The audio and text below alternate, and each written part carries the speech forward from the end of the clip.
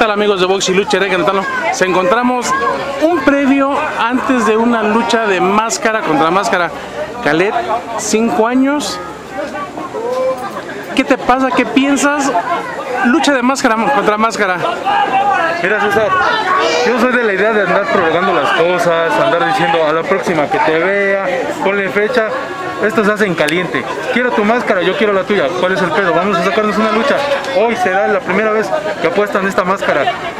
Calé del Inmortal contra Príncipe León. Pueden seguirlo aquí en, en Ring Queretano. No se lo vayan a perder. Ahora sí que de mecha corta y dijiste como así como bien lo mencionaste máscara contra máscara de una vez para que le para que lo hacemos más largo eh, digo creo que es tu lucha más importante de tu carrera en esos cinco años que es muy corta pero que ha sido fructífera porque va en alta y pues ahora sí que cómo te sientes Carlos sí así es. Vamos levantando.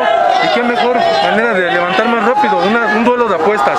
Aquí vamos a definir un calet con máscara, un calet sin máscara, no lo sé. Respeto mucho a mi rival, pero eso no quiere decir que le tenga miedo. Y como bien lo dices, mecha corta, esto es en caliente, como las cosas como deben de ser, a la primera y sin tapujos. Pues ahora sé que este es el previo, en aproximadamente media hora, una hora, estaremos viendo cuál es el resultado y pues esperemos que nos pueda regalar unas palabras. Con todo gusto César, vas a ver que voy a regresar con esta máscara intacta. Y aquí está, para quien quiera, para quien le sirva. Aquí estoy, ya lo saben, a la primera nos la jugamos. Pues ahora sí que dejamos que te sigas concentrando para tu, tu pelea y pues más bien perdón para tu lucha porque me van a reclamar que porque mi pelea es para box, para tu lucha y ahora sí que este pues ya terminando esta, esta batalla que vas a tener, platicamos sobre tus planes a futuro. Muchas, gracias. César. Saludos.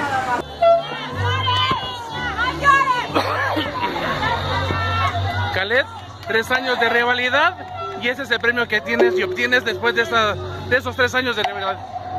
Esto, esto lo logramos, te lo dije, en corto y las cosas como deben de ser.